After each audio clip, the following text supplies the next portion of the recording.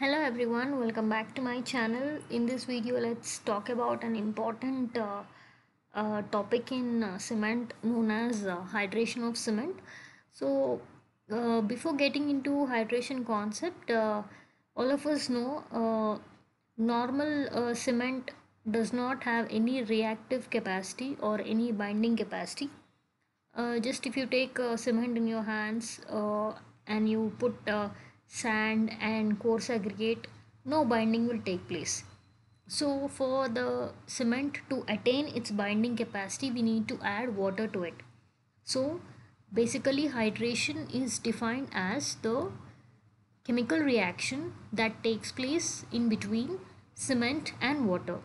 So, once cement starts reacting with water, we have uh, products of hydration formed or what we call them as hydrated compounds.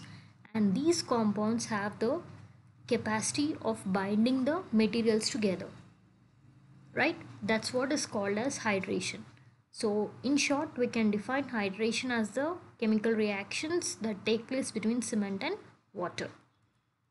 So next coming to heat of hydration. So if you observe at any time uh, once water is added to cement the reaction is exothermic means heat is evolved outside. We can feel the heat. That's called as heat of hydration. So the amount of heat that is evolved uh, during the hydration process is called heat of hydration. Initially the heat of hydration will be very much high. Later on it will decrease. And again as the days pass on by it keeps on uh, it it uh, it goes on. The process will be there and one has to be careful with uh, controlling the heat of hydration. So that's the reason we generally do the curing process. So uh, if uh, generally this uh, heat of hydration is considered to be as an additive property of cement uh, so it's by default during the manufacture only this uh, property comes with the cement.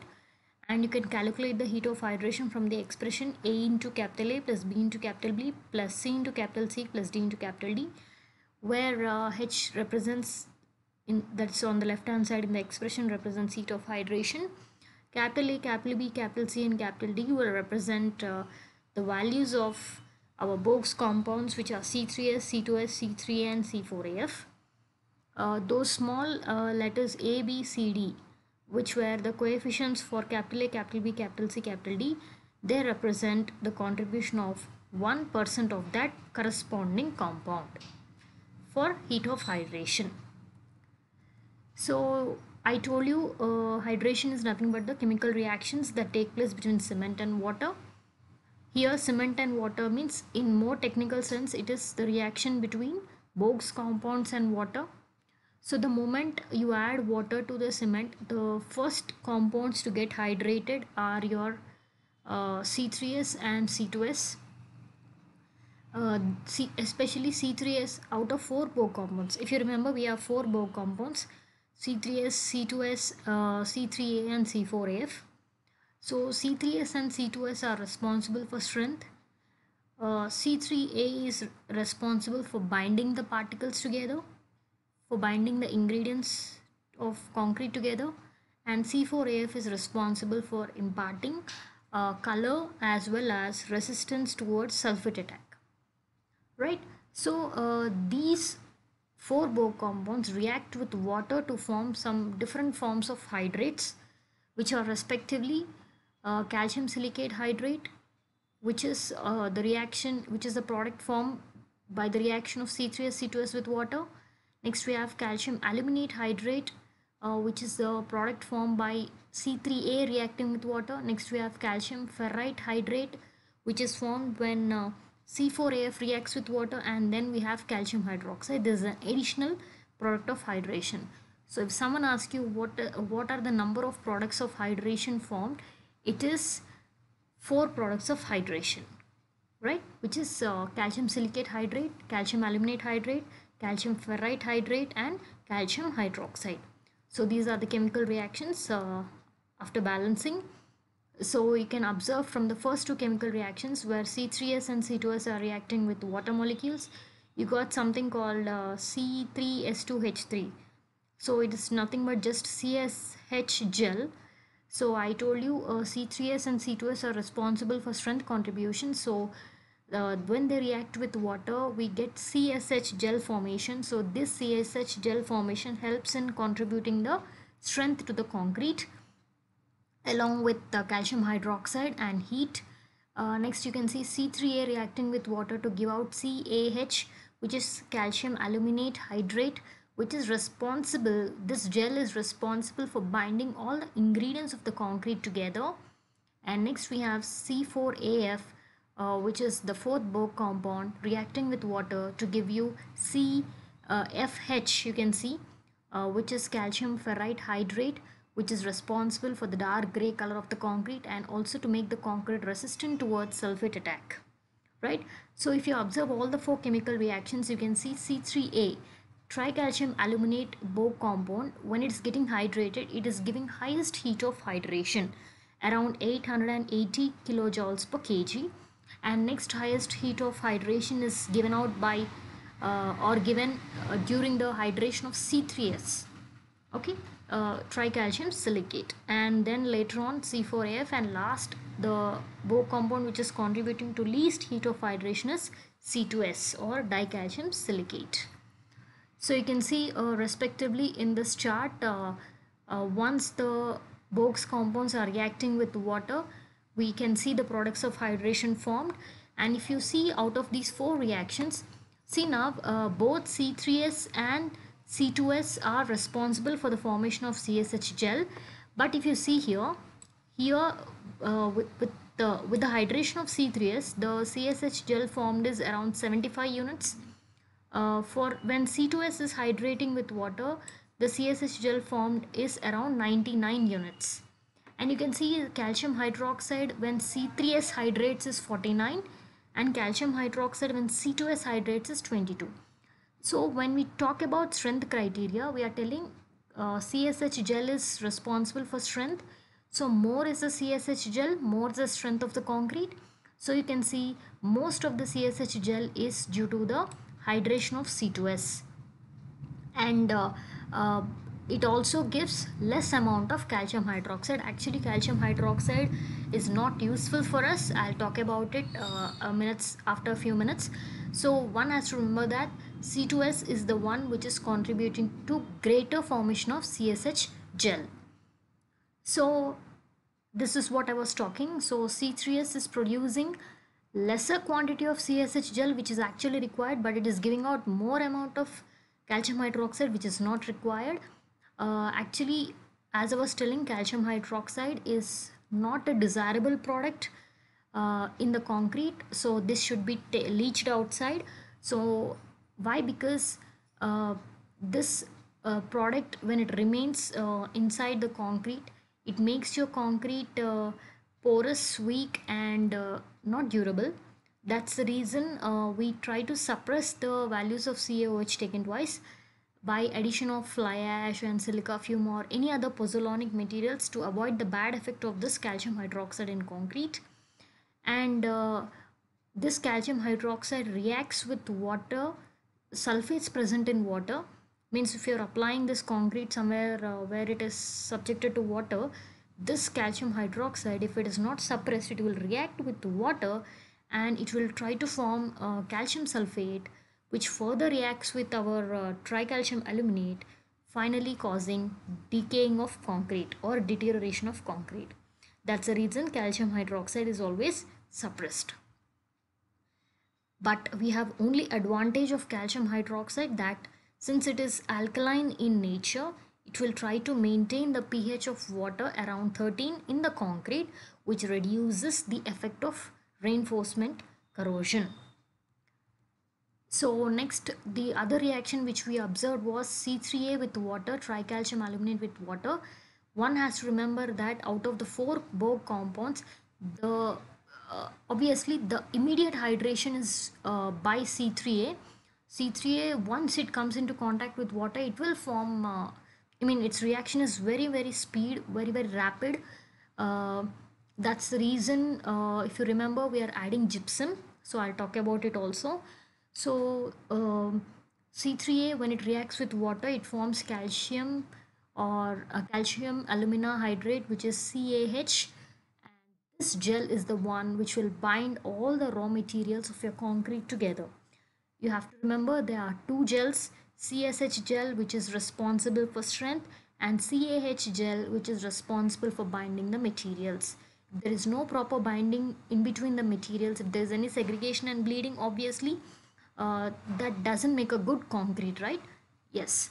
Uh, the next one is the last Bogue compound C4AF, uh, tetracalcium aluminoferrite. When it is reacting with water, it is giving out calcium ferrite hydrate, uh, which we call CFH if you observe in the chemical reaction, in addition to CAH already.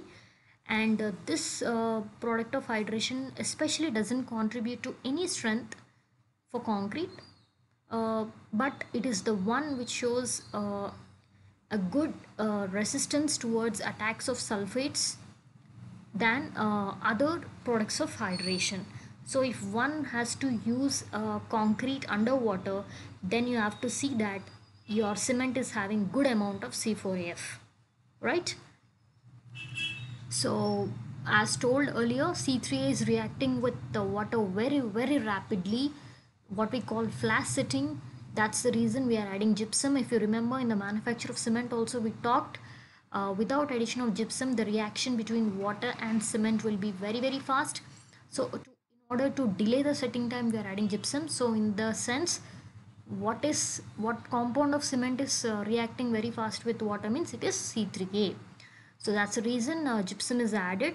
So once uh, your c3a uh, is reacting with water, we are getting calcium aluminate hydrate. This calcium aluminate hydrate reacts with gypsum, thereby forming calcium aluminate trisulfate hydrate or calcium aluminate monosulfate hydrate. So whatever the formation of calcium aluminate trisulfate hydrate we are getting, the big one C C6A S uh, have put a star so that S represents already we are taking for S silica so here S represents, S star represents actually sulfur. H32. This big compound is called as ettringite. So ettringite is nothing but it is the product formed when calcium aluminate hydrate reacts with gypsum. From where this calcium aluminate hydrate came? When C3A was reacting with water. So this ettringite will have a structure like needle, needles like structure. And last coming to structure of hydrated cement, uh, we can observe the structure of hydrated cement in two ways. One is uh, microscopically and other one is macroscopically. Say suppose uh, if you are uh, observing the concrete macroscopically means with the help of your naked eye if you are observing the concrete so you have taken cement coarse aggregate fine aggregate water you have mixed and you have prepared the concrete so what are you able to see? Macroscopical view, what are you able to see in the concrete? We can see the cement uh, paste and we can see the aggregate paste, correct? Means you can see the coarse aggregates. You cannot uh, especially find sand. Why? Because already sand is mixed with your cement. So you can find only two, two phases. One is your uh, mortar phase and a coarse aggregate phase. So that is when you are observing with your naked eye. But when you are observing the same concrete under a microscope, you should observe two things. we should observe a cement paste and we should observe an aggregate phase. So what I would like to tell you people is when you are talking about structure of hydrated cement, we have, we generally consider uh, concrete to be a two-phase material. One is paste phase means cement paste phase one is aggregate phase. If we dig deeper when you are observing under the microscope uh, we can separately find uh, cement paste with fine aggregate. Uh, we can find uh, cement paste we can find fine aggregate and we can find coarse aggregate. But when you are observing with your naked eye we cannot uh, clear we cannot see sand why because it is already mixed up with your cement what we call mortar so we when you're observing with your naked eye you can see a mortar phase and a coarse aggregate phase this is what i would like to tell you people uh, one has to remember about an important term called transition zone or interfacial transition zone. Uh, this is very much important. This is nothing but it is a zone which exists in between the coarse aggregate uh, uh, and the cement paste. So this is this could be observed only under a microscope. It is how well the cement paste is binding the aggregate. Good is the binding, good is the transition zone, good is the strength and if the binding is not proper in between the aggregate and the cement paste or the cement mortar transition zone will be weaker and hence micro cracks may be developed so this is the complete uh, hydration chart uh, one has to i already talked about the Bogues compounds there i told you about features of c3s c2s c3 and C4f so the first uh, one to hydrate is uh, our c3a then C4AF will take place. Then the first 7 days strength is always due to C3S. How the first 7 days strength came in, C3S is reacting with water to form CSH gel. Up to 7 days the hydration will continue and during this time C2S will be dormant. Uh, after 7 days uh, the hydration of C2S will start. Uh, so again C2S also reacts with water to form again CSH gel. So later on the strength will be there. So one has to understand that see generally how do we test concrete? We test concrete at uh, 7 days, 14 days, 28 days, 56 days like this.